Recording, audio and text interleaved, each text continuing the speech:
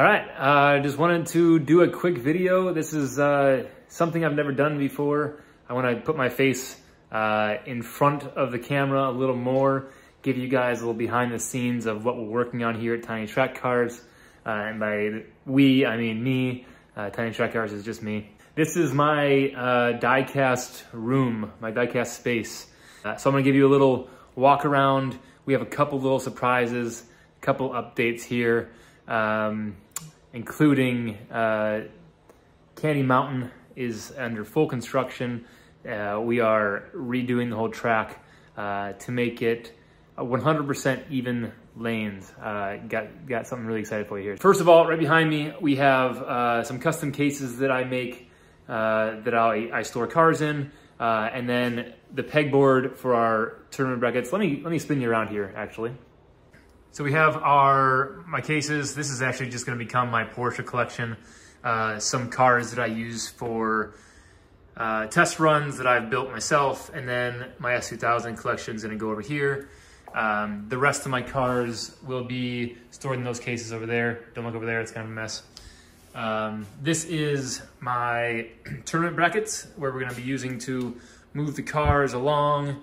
Uh, that will be for a 16 car bracket for Candy Mountain, scorecards. This will be for a 16 card bracket for Rainier Rally, uh, and then this will be scorecards for Rainier Rally.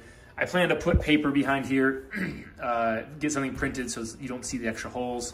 It'll be a little bit nicer when time comes. Uh, moving right along, there's a big mess here. Ignore that. Tools and stuff in there. This is where I build cars. So this is where I work. Um, some extra cases that I took down off the wall. Those are for sale on our website, tinytrackcars.com or our Etsy store. Um, moving right along, we have our uh, Rainier Rally track. Uh, and this is a new series that we're starting, actually filming this week once all the cars arrive. Uh, this is our straight line uh, rally track, uh, filmed with the dolly. So I'll, the GoPro will go on here, That'll be filming. And the way we do this is, this is one of the first times I've ever seen this, is, so the track is perfectly straight, as you can see. There's no change in grade. And I actually film it at an angle. Uh, so the secret sauce here is I had this vision a long time ago that I wanted a track that looked completely flat. So when you put the cars on it and you film at the same angle as the track and you straighten the footage out, the cars seem like they're flat. So the whole track is built at an angle. Uh, still have some, some work to do as far as uh, signs. Uh, some uh, there's, a, got a Lego guy hanging in the woods there, so don't mind him. Jump number one, it goes to open track.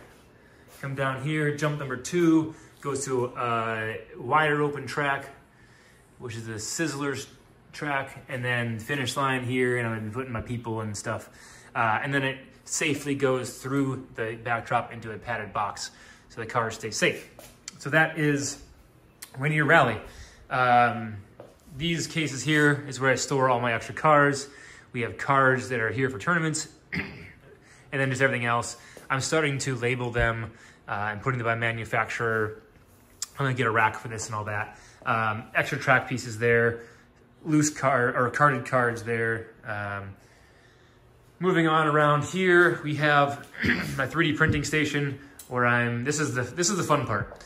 Um, so I've been working with Russell at Spoolheads for a little while now on the updates to our new track, uh, new Candy Mountain track, uh, which is right here.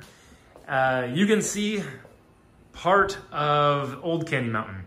Uh, it's still there. So the, the main drop is still there. Uh, previously, we had a 90 degree turn right here, which came out to Lollipop Landing. Lollipop Landing turned and went back into Cupcake Corner and then down. Um, we have decided that we wanted to make this track equal length. Uh, and I drew some sketches up and I've been working with Russell at Spoolheads. I highly recommend Russell. Uh, spoolheads.com is his website. This SR2 track that he has designed, uh, he's been working with me side by side, designing pieces. I'm test printing and fitting in the track, and we're basically coming up with a full custom track. Uh, he's actually going to be working with me on a start gate as well. So I'll have a start gate, which is SR2 track. That Hot Wheels track will get replaced. This is all SR2 dual lane track. Uh, some custom pieces in here to change grade from downhill to flat.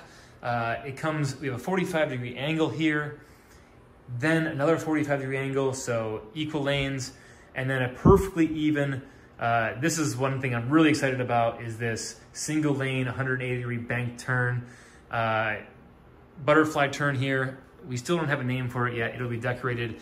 We're thinking the lollipop loops. Since we took out lollipop landing, that'll be lollipop loops pending. Uh, obviously that'll be covered, plaster cloth, decorated. The backdrop will continue around so it'll look like sky and clouds. That comes down and goes into crash racers. Crash racers will uh, be opened up. this, we had to loop here and there's a little bit too much speed coming down the hill.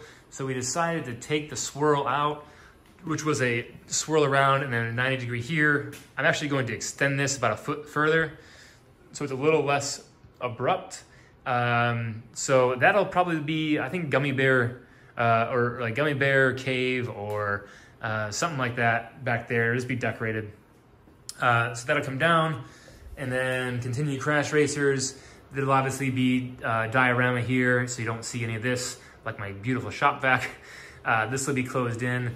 And then we come down the, the main straight here uh, and then this is another cool thing that me and Russell worked on is I, I had this vision for, I wanted the track to, to merge and loop back around. Uh, so previously we had the intersection here where the cars would go around and then cross back through and there'd be crashes. It's cool for the crashes, but not cool on people's modified cars that they spend a lot of time and money on. So um, finish line will be right here and then it'll merge and loop around and the cars will actually if they are fast enough, they'll stage back here next to uh, the finish line. And I'll put a stop there so I can kind of see what places they're in, uh, how they finished, and then you kind of just another aspect of the video, you'll see them coming back in a frame here. So obviously the candy and stuff just piled up there now, but huge updates to Candy Mountain. I do think I'm gonna tear off the paper and just paint the wall directly uh, just because my OCD does not like seeing the tape, even though you don't see it in the final edited video because we're shooting uh, you know, tight, you know, like this, uh, so you don't see any of that. So that's the big, big update for Tiny Track Cars. Uh, Rainier Rally coming uh, very soon. Should have a video out in a couple weeks. Uh, probably gonna do a video for uh, Candy Mountain on once the track is finished. Uh, and then I'm also, another exciting thing is I'm also going to release a full 2023 schedule of events uh, for the whole season. Uh, that way you guys can see what's coming up, what we have planned, uh, and get ready for it. Those will probably be announced on our website, tinytrackcars.com, once they're ready.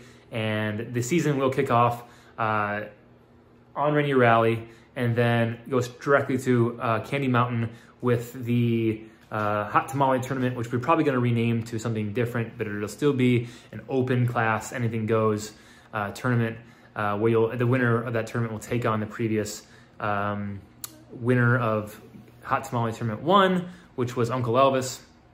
So there's the update. Again, spoolheads.com. Russell has been super awesome with helping me get this SR2 track together and uh, the customization of Candy Mountain. Uh, thanks for following. As soon as we hit 500 subscribers, I'll be doing more community updates in this channel. So be sure to like and subscribe, uh, all that fun stuff that YouTube wants you to do. And I'm Nick, and thanks for watching. Appreciate it.